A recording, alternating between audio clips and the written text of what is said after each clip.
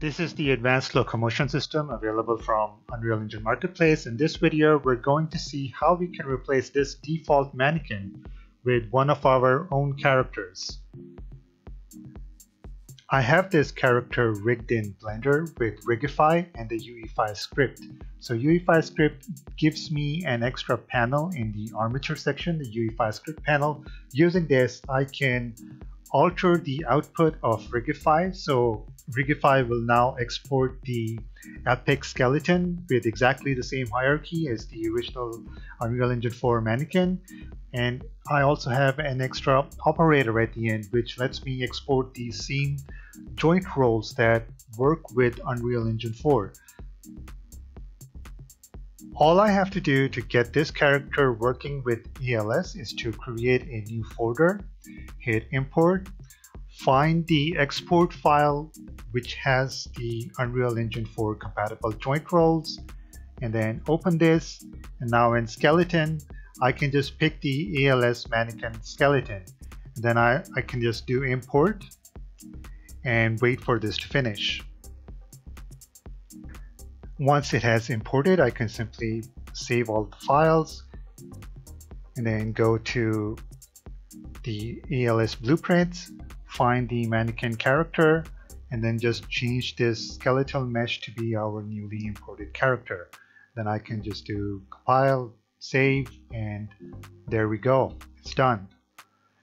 And I should also work with all of these, um, with all of the controls that this thing comes with. Now I've also imported other characters. So this troll character, there's a complete guide on my YouTube channel to rig it with Rigify and Uefy script in such a way that you can export it with the Epic skeleton and the appropriate joint rolls. And once you export it and then bring it into the engine, exactly like I showed you, all I did was hit import, set the skeleton, and that's it. And then we can go to blueprints, find the mannequin character, and then just change it and save, compile, close, and there you go.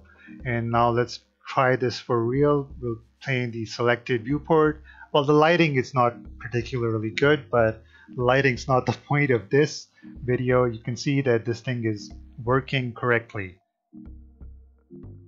So if you have the Uefy script, that's all you need to do. And if we look at one of these characters, I'm just going to open this up.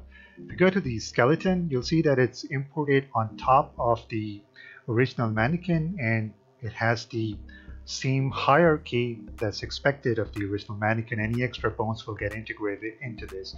That also means that uh, you can very easily retarget any kind of animation onto this thing and you can also very easily replace the mannequin with uh, other characters some of which may have very different types of uh, sizes. Like you can you can see that troll is at least twice as big as this character and everything still works. So that's that. The Uefy script is available for sale on my website so do check it out. I have a YouTube channel with several hours video showing you how to use it and how I can get different characters into Blender and then from Blender into the Unreal Engine with the Epic Skeleton and the appropriate joint rolls. So that's I hope you enjoyed this video and thanks for watching.